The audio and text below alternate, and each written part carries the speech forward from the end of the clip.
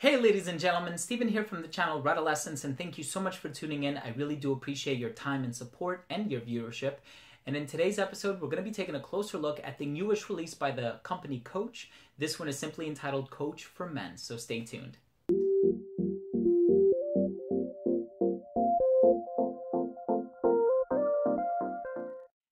Begin, I do want to mention that there is going to be a giveaway attached to this review. So in order to know what the giveaway is, please make sure to stay tuned until the end of the video where I will announce what you need to do in order to enter. Now, for starters, this fragrance is a 2017 release. It is a collaboration between perfumers Anne Flipo and Bruno Jovanovic, both of which have an extensive resume. You can go ahead and look them up online. And here is the newest release by this company. And I have experience with some of their other scents. I like the original Coach for Men. It was one of the greatest grapefruit fragrances that I've ever smelled, and it's a bit of a disappointment to see that it's not easy to come by nowadays. And I also really enjoyed their leatherware collection. I had a couple of friends that wore some of them. Jesse Howell, if you're watching, he's always been a big advocate for their leatherware collection. Unfortunately, those have been kind of scrapped as well. But here we have the newest iteration, and this one, a lot of people have been comparing it to Dior Sauvage and Bleu de Chanel and Mr. Burberry and saying that it's one of these lighter, fresher, citrusy, easy to wear fragrances. Do I agree with them?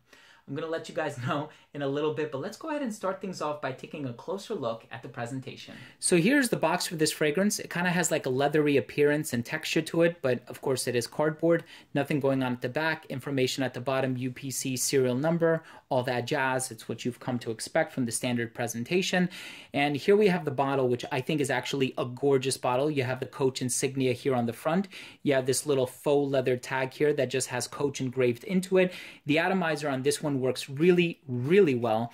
I love the fade on the bottle as well, how it goes from black to uh, transparent at the bottom. And I just want to say that if you want to lock this, there's actually a mechanism where you can turn it and now you can't press down on it. Very evocative of the Bulgari Man and Man in Black bottles.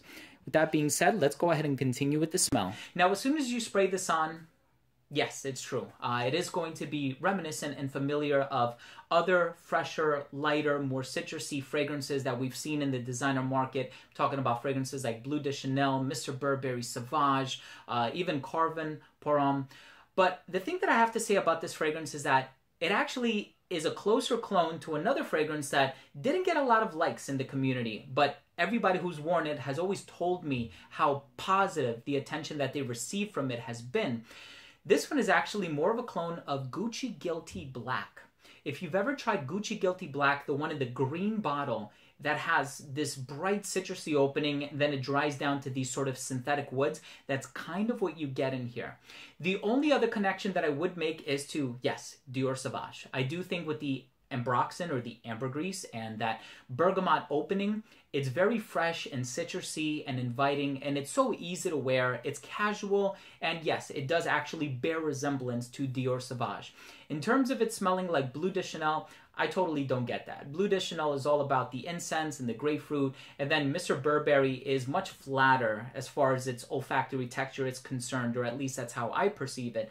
This one, more of an emphasis on the citrus, and it dries down to those synthetic woods, and in my mind, that conjures up Gucci Guilty Black, which at the same time, I actually quite enjoyed. It even made my top 10 most complimented list. So, in terms of a fragrance that's fresh, it's inviting, it's very easy to wear, I think this one hits all those marks. If you're looking for something complex, if you're looking for something non-linear or more non-linear than this, this is kind of non-linear in the regard that the citrus goes away. But if you're looking for something that has more work uh, drawn into it and it's defined by the presence of more ingredients or more sophisticated ingredients, then you might want to look for something else. But personally, I love this one. And I came home with four fragrances two days ago and this was one of them. So, in full disclosure, I haven't worn it for the entire week, but for all of those fragrances that I have tried and I've put on, and I have been wearing this one as well, my wife says to me, This is by far the best one of the lot.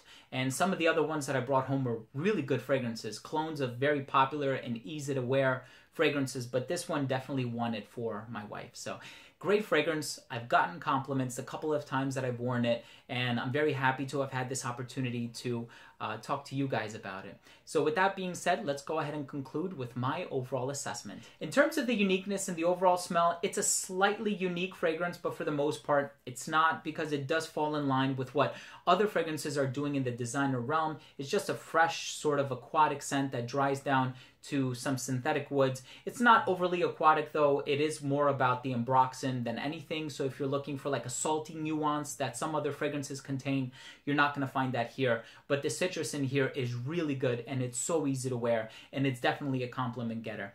Longevity is where it falls a little flat. You're going to get about 4 to 5 hours and the projection is really good for the first hour and a half because of the overabundance of those citruses. But once they die out, it does sit closer to the skin, kind of becoming an intimate scent but that's that might be uh, the occasion for which you might want to wear this. In terms of versatility, incredibly versatile. Dressed up, dressed down. I just think that you should wear this one in the hotter weather.